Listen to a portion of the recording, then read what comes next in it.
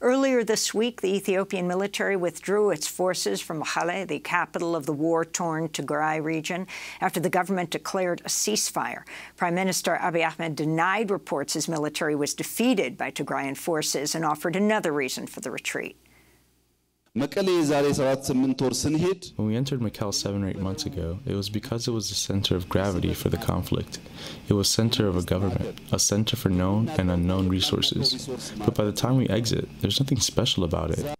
The Ethiopian prime minister is a Nobel Peace Prize winner. He's come under fire for his response to the conflict that erupted in November when the Ethiopian government launched an offensive against Tigray separatists. Since then, thousands have been killed. Over a million civilians have been displaced. Some 350,000 people are now on the brink of famine. Abiy has denied there's hunger in Tigray, but the United Nations says it's the worst malnutrition crisis in a decade, and it's projected to get worse without urgent aid and unhindered access to those in need. The UN says multiple parties in the conflict may be guilty of violating international law, possibly amounting to war crimes and crimes against humanity, including indiscriminate killings and sexual violence, using rape as a weapon of war.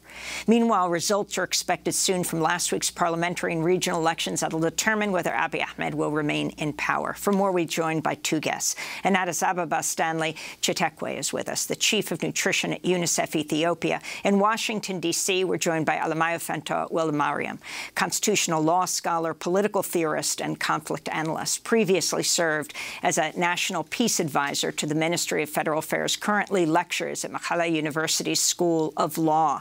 Uh, he's also political commentator for Ethiopia Insight. Uh, we're going to turn to you first, Alemayehu Fentaw Weldemariam. Thanks so much for joining us. Can you talk about the significance of this ceasefire, why it happened, and um, all this in the context of the elections and the famine that uh, could engulf uh, this area of Tigray? Uh, thank you, Amy, for having me.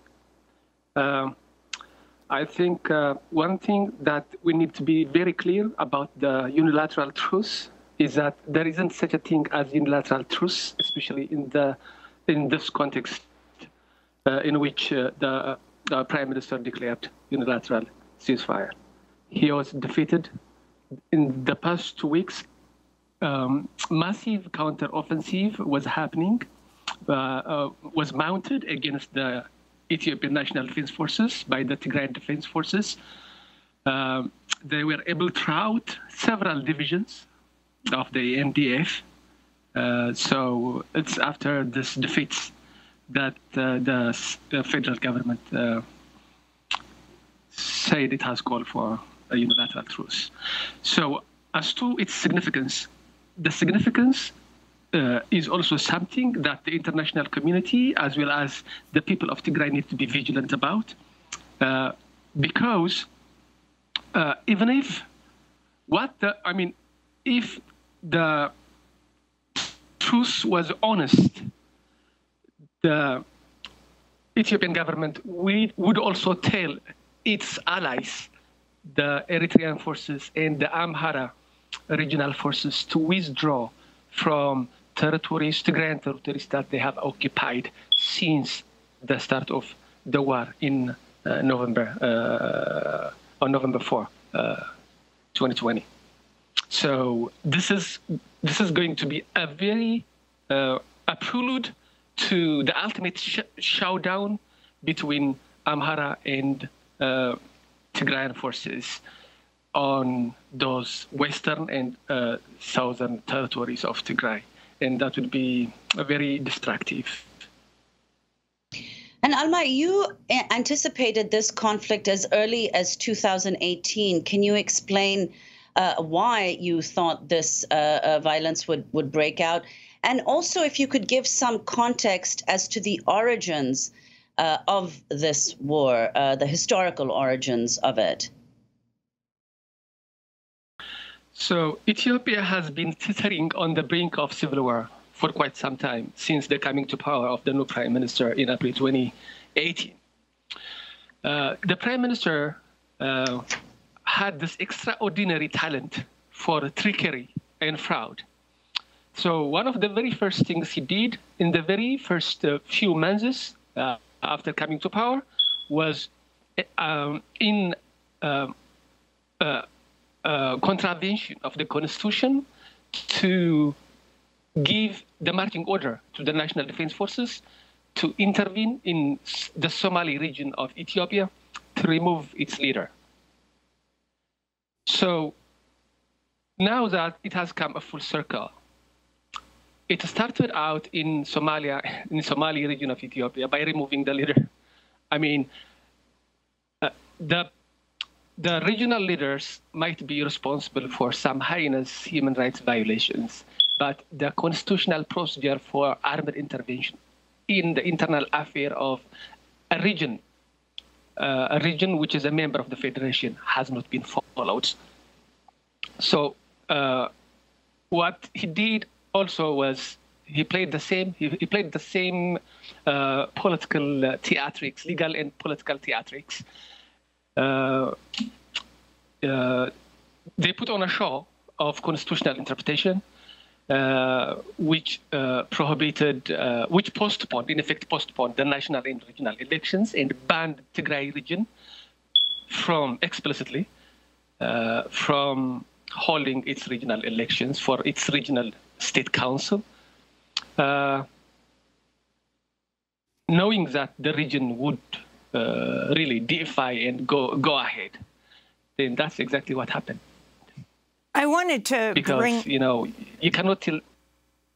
Yeah. I, I wanted to bring Stanley Chitekwe in from Addis Ababa, the capital of Ethiopia, the chief of nutrition, UNICEF Ethiopia. As we talk about the situation here, the ceasefire in the midst of the elections, you are dealing with, and the people of uh, the Tigray region, Ethiopians in the war-ravaged Tigray region, are facing the world's worst famine in a decade. Can you describe what's happening there and what has to happen, Stanley? Yes, thank you for having me. We are seeing very high levels of malnutrition among children under the age of five years of above 15% that is wasting, and this is considered to be very high. Malnutrition among pregnant and lactating women ranging from ranges from 40 to 50%. Again, this is very high with potential long-term impact. And pre-crisis, pre the conflict, we realized also that uh, Tigray region had already a very high level of malnutrition, uh, stunting. Stunted growth among under fives was already 10 percentage points above the national average. Wasting also was about two percentage points above the national average. And the latest study has shown that on food security, we have about 5.5 million people that are in, in a range which we call from IPC 3, 4, and 5. So this is a very high proportion. And the report of looming famine comes from the fact that if certain risks are not removed, and there are mainly two risks that we are talking about. Number one, continued conflict, uh, as well as number two, uh, limited access to provide humanitarian access this malnutrition situation may deteriorate into famine.